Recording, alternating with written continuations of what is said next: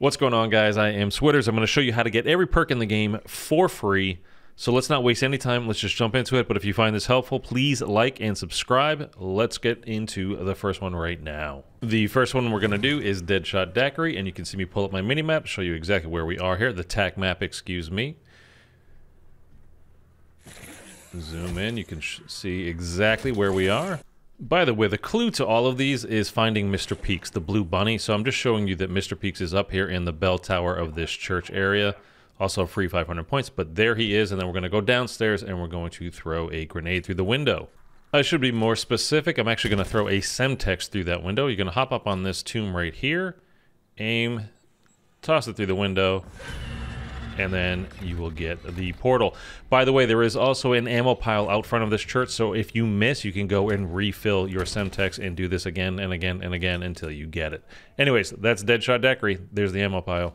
Next up is Death Perception. You're going to have to float through these three rings that you can see here, these giant rings. So we're going to have to jump from someplace high. I'm going to show you that right now. Here is the location on your TAC map. And like I said, we're going to need to jump from someplace very high. So you can see that smokestack right in front of you, right there, that red and white big tower. We're going to climb that all the way to the top. There are two of them. And again, just follow, go to the one I'm going to right now, to the far left. It's quite the long way up. I'm not going to bore you and show you every inch of every step that we go up this ladder, but trust me, this ladder, and then there's another ladder, and finally, we are at the top, and you can see the rings there. Just hop up onto this railing, pull your chute, basically just immediately after you jump off, and then just try to line it up and slowly glide through. That's all. You want to come hit this first ring somewhere near the top of that first ring, but you've got to get in it. You can't be on, you know, go over it and smack right into it.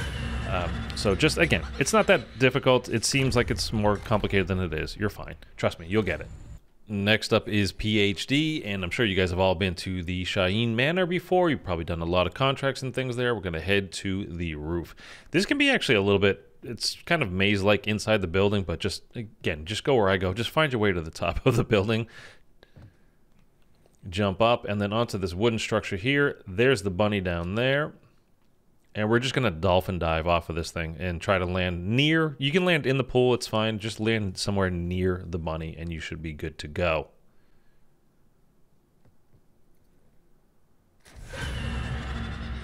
And that sound means success, so just go ahead and collect your free PhD.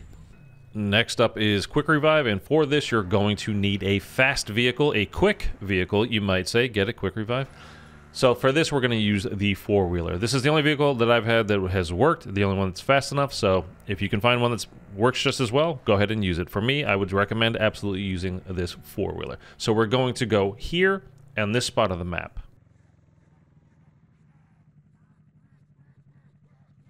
On top of the sign, you can see Mr. Peeks there. So what we're going to do is take our four-wheeler. You can do this from either side. We're going to go from sign to sign. Use this lane that I'm in. The other lane is blocked a little bit. So you need to get right underneath this sign. You will hear a noise like giving you a buzzer, kind of like... When you hear that, it's time to go. If you don't get right underneath it, it won't go off. So you'll know when it's time to go, when you hear that sign, if you don't hear that sign go off after a couple of seconds, you need to kind of creep forward a little bit and make sure you are directly underneath. But this is the other sign we're going to, and you'll know you got it when there it is. Speed Cola is up next, and unfortunately, I did not get this on the mini map to show you the TAC map, rather. So it is the top left portion of the map. You can see Legacy Fortress just straight ahead above me right there. So if you know where Legacy Fortress is, which is clearly marked on your map, you're just looking for this gigantic bird sculpture that we're going to drive up. See the big arrow? You can do this with literally any vehicle, by the way. So just line it up, and at the very top of the beak of the bird is Mr. Peeks. Just make sure you drive over that. You don't have to go a certain distance jumping off of this. You just make sure you have to run over Mr. Peeks and then you land and you will get Speed Cola. Again, top left portion of the map, just below Legacy's Fortress. Juggernog is up next, and we're looking for this little campsite with Mr. Peeks right there, and we need a Molotov cocktail for this one, and you can see there on the TAC map where it is. Just throw the Molotov onto the campfire, and it will alight, and you will get the portal, and your free Juggernog will be inside. Stamin-Up is up next, and this is in the bottom lower left. I'm going to show you on the map, but just showing you that it is the tallest building at the bottom lower left portion of the map. And we're going to have ourselves a little race to the top of this tall building. So you can go exactly where I go here, jump through that window, however you want to get in. It doesn't really matter. Mr. Peeks is right there, but here it is on your tac map. This one is not like Quick Revive. You are not going to get a start signal, a start sound to let you know to go. Just go ahead and line up next to him. Don't just run right through him, like past him, right up the stairs. Just stop, pause down at the bottom, and then just go ahead and start running to the very top. Up all the stairs. There could be zombies here. If you're lucky, there won't be any like I had here. Don't worry. Just try to avoid them and run around them and just keep going. You got to go all the way to the top of this building. There are 15 floors. So just keep going. Just keep going. And just keep going. How many times do you want me to say just keep going while we're going up these stairs? Oh my God, I'm getting dizzy. Please, for the love of God, please, can we end it right now? Please just be at 15. Here we go. Whew. All right. Well, that's it. It's a refreshing drink after running up all those damn stairs. Tombstone is up next. We're going to be looking at that crane. You'll see in a second why. You need a sniper rifle for this, by the way, with a sniper scope on it. You can't just put like a two-time scope or something like that, like an ELO or whatever. You need to have a legit sniper scope on it, or this will not work. But anyhow, I showed you where we were on the tac map, and we're just going to head to the roof up this ladder here. Out the door, and we need to scope in right where I do there. And there's Mr. Peeks. Boom. Jump scare. There you go.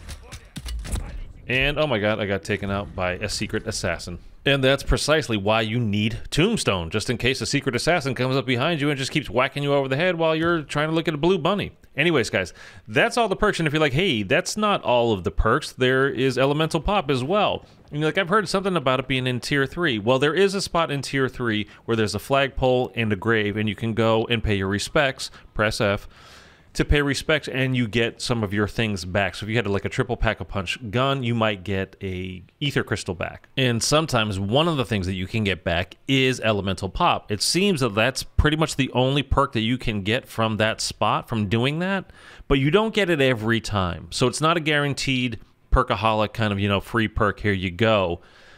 So that's why I'm not putting it in here. I still think there actually might be a spot across the map where you can get it every single time you do it, just like every other perk in this video.